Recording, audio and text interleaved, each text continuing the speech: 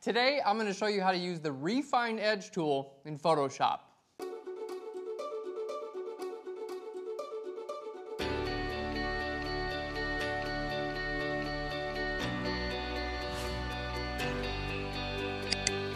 Hey guys and welcome to Phlearn. My name is Aaron Nace and you can find me on phlearn.com where we make learning Photoshop and photography fun. And today's episode is gonna be super helpful because we're using the Refine Edge tool which is totally necessary anytime you wanna cut something out of the background that isn't very simple. So when you have a complicated selection like hair or clouds or clothing, anything that has a little bit of a jagged edge that's not smooth, the Refine Edge tool is going to be your best friend.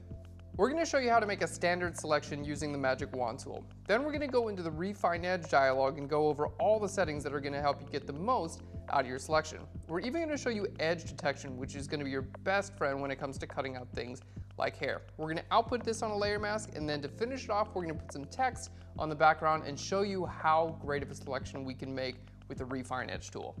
So here's our image for today. We've got a majestic lion looking at God knows what, standing on a clean background, and we want to cut him out of the background. Now let's take a look at why we need the refine edge. We're going to zoom in and take a look. Here we're going to see all these little areas where we actually have, you know, hair that needs to be cut out relatively precisely, and that's where the refine edge tool really comes in handy. So let's go ahead and start off by making a selection around our background. Let's say we want to get rid of this sky and replace it with just a, a, a white or a colored background. We're going to go ahead and grab our magic wand tool, and I'm going to click on my sky we're going to hold down the shift key and we're going to make a few more clicks, which is going to select more and more areas. Everywhere I click, it's going to select an, select an area that's similar. So you can see that's relatively easy to make a selection around our subject, basically just shift click in a couple of different areas. Now, if I were to go ahead and cut the lion out of the background, let's go ahead and give it a shot. I'm going to click on my magic wand, or sorry, on my layer mask tool right here. There we go. That's going to give us the inverse of what we want. So at this point, I'm going to click on my layer mask, and I'm going to hit Control or Command I. That's going to invert the layer mask. Okay, now let's just zoom in and see what kind of selection we have. It's not really that great. And if we were to create a new layer under this, let's just create a new layer. We're going to go to a solid color fill layer. In this case, let's just try filling it with white. And we're going to put it right underneath our line. There we go. This is about what we can expect whenever we use a standard selection tool like the Magic Wand tool in Photoshop. This is about as good of an edge as we're going to get. And that's a problem because it doesn't really look that good. So introducing the Refine Edge tool.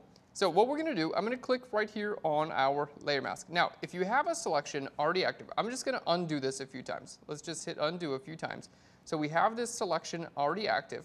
Now, in my selection tool, so I've still got my magic wand tool selected here, we've got this refine edge button right up here at the top. So we have our selection, we can click on refine edge. Or if you don't see a refine edge button, you just go to select and then down here you can go to refine edge. It's the same thing. Okay, now we've got our refine edge. Let's take a look at this dialog and see what we've got. At the very top of the Refine Edge tool, we have a couple options for view. Now, we have options like marching ants, which is basically going to be the standard view we have things like overlay and on black and on white. There we go. A lot of different options, black and white and things like this. Now, these are not actually changing the selection at all. This is just changing how the selection looks in order to help you make a better selection. Okay, so next we have, we're gonna skip edge detection for right now. We're gonna come back to it in just a second. Now let's, talk about our adjust edge. And this is probably where you've spent a little bit of time if you've been in the refine edge dialog before. So smooth, this is basically going to kind of smooth out the selection. In my opinion, this is, it's not really that helpful of a, of a uh, slider here because it, it doesn't tend to make selections look any better. It will just kind of like smooth them out. But, you know, for the most part, um, that, that's not really what we want. Feathering is just going to soften up the edge a little bit. Let's change our view so we can see maybe overlay. So we can see what the edge looks like, but still see the lion as well. Okay.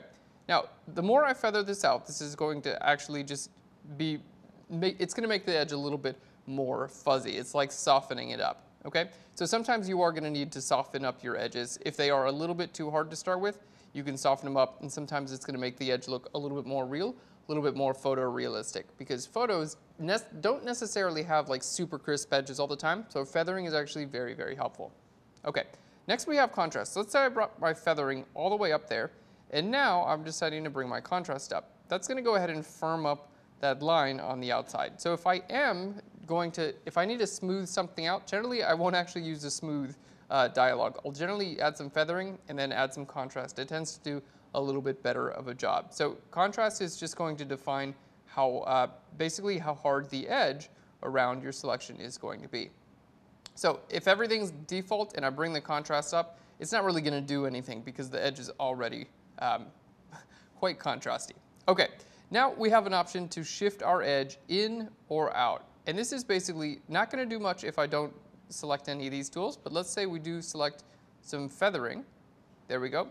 And now I can push my edge in or out. And this is going to pull it either away from my line or towards my line. And this is also very, very helpful because oftentimes you're going to make a selection around a subject and it's going to include like a little white halo all the way around your subject. That's like basically the edge.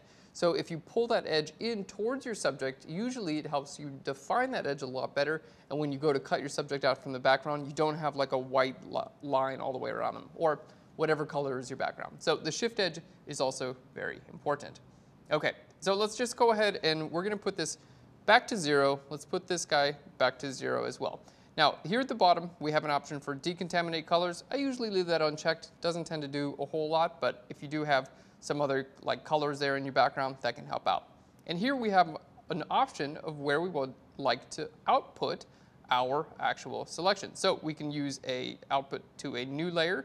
We can go a new layer with a layer mask, a new document, a new document with a layer mask, or we can do a selection or a layer mask. Now, those two are grayed out right now only because I'm working on a background layer and Photoshop doesn't like to add layer masks to background layers. So let's just hit cancel real quick. We're going to turn this layer into a regular layer just by holding Alt or Option and double clicking on it. There we go. It's a, it's a regular layer now. So let's go back to our Refine Edge document and we can see now we can now put it to a selection or a layer mask. So we're going to choose layer mask here. Okay, now I'm going to still leave those all at zero for now. And we're going to come back to our edge detection because this is where we're really going to spend some time and this is going to be the best tool when it comes to cutting out hair and fur. So here in the edge detection, we have a couple different options. Starting off with our tool, let's click and hold there. We can see we have a refine radius tool and erase refinements tool. So we're going to start with our refine radius tool. This will just erase what this does. Okay, next we have edge detection, smart radius, and we can choose our own radius. In my opinion, smart radius works really well. I just tend to leave that checked. So to actually use the edge detection tool, what we're going to do is start, basically I'm going away from this dialog, and I'm going to paint right here on the outside of wherever my fur is, or the area that I'd actually like to be refined. There we go. And basically I just paint right there, and Photoshop does a really great job of figuring out what's hair and what's background and refining my selection for me. There we go. We're going to continue to paint in there. And as I paint right around my subject, you can see it actually does a really good job continuing to further and further refine the edge. Now, if you don't want Smart Radius checked, you can uncheck that, and then you can choose your own radius here. You can go larger or smaller. There we go. In this case, I think a little bit larger works pretty well. Okay, you can even use a larger brush here if you'd like and start painting in to cover more area at a time. There we go, and it's gonna start automatically going around the rest of our subject too, trying to find, there we go, trying to find those areas that need a little bit nicer of a selection. All right, let's cover the back and back up there. Looks like it needed a little bit. All right, there we go. That needed it too. Okay, that is really, really cool. Let's see the original. So I'm gonna hit show original. That's what we get without the refine edge tool. And here is what we get with the refine edge tool and using the refine radius tool. Okay, so that looks great. Now I can see what that selection looks like on black. I can see what it looks like on white. A couple different options. I have options for on the layers and a reveal layer as well, which just shows me everything. So let's go ahead and put it right here to overlay, just like we had it before. That looks great, and I'm gonna output this selection now to a layer mask, which is perfect. So we're gonna go layer mask and hit OK. Okay, so we have a layer mask. Remember, we did select the sky, so we need to invert the layer mask. So we're gonna click on our layer mask, I'm gonna hit Command I, and there we have our lion is cut out from the background and all the hairs are cut out with him. Now that we've cut our lion out, let's go ahead and see what we can do with our background. We're gonna create an adjustment layer here. I'm gonna go to solid color, and then we can choose really any, let's go ahead and start with white. We're gonna put this right underneath our line, and we can see what a nice edge we have there. We don't have a whole lot of blue all around our subject. Now, it's not completely perfect, but it's pretty dang good. This looks great. Okay, if I change the colors here, we can just click on our color fill layer. There we go, and we can see here on different colors, it should look good as well. Now, you are gonna see a little bit of fringing. That's because our line was basically photographed on a very light colored background. And this is very, very difficult to get rid of. So my suggestion is if you have the lion originally photographed on a light colored background, make sure what you're replacing with is also light, like a nice light red. There we go, light pink, something like that. There we go, that's gonna look good. A light green will look good, a light blue will look good, things like that. Going from a light colored background to something like black, you're gonna see an outline like that. And if you don't mind it, not a huge deal. But in this case, we're gonna choose white because I am pretty dang sure it's gonna look good. There we go, let's hit okay. Cool, so we have our lion and he's on a white background. You could choose to have this be on a transparent background if you'd like to do that as well. But we're gonna use white for this. Okay, now let's go ahead and bring in a little bit of text and show you some other cool things we can do after having made that great selection. So before this episode, I went ahead and made this little like plaque, it's just this lion and then some dummy text right under it. We're gonna use our move tool. So I'm gonna hit shift and click and drag from one document to the other. There we go. And we can see, we'll just put it right in front of our lion and bring it full screen again. So this is basically just some text with a, with a semi-transparent background in the back. So in this case, you know, if we wanted to place this over top of the lion, you could definitely do that. But because we've already selected out our lion and we have him on his, basically his own layer, what we can do is bring this line text below the lion. So we're gonna just hold down the controller command and open bracket, which brings it below the lion. And now we're free to place it underneath our lion and we can see still, even there, if I were to bring the fur right over that eye. Look at that. You can see the actual fur directly over top of it. So you can get like a little bit, um, you can get a little bit fancy with this. It's just gonna make it look a little bit uh, higher end in my opinion if you do have like nice accurate selections around fur and things like that. So instead of just placing it directly over top of the lion, now it looks like the lion is coming over top of the sign and uh, makes it look a little bit cooler. So let's go ahead and crop this in just a little bit. There we go. And this would make a really cool, simple like ad or poster or press kit, something that you wanted to have an image, maybe some text behind it, or you wanted to completely replace the background altogether. I think it's a really nice, simple image, great effect, and I love how you can see the fur coming in over top of this little sign there. Very cool. Let's go ahead and look at our before and after. Here's our before with our lion on a plain sky background, and here's our after with the lion on a white background with a really cool sign telling you a little bit about Mr. Lion and how his day went.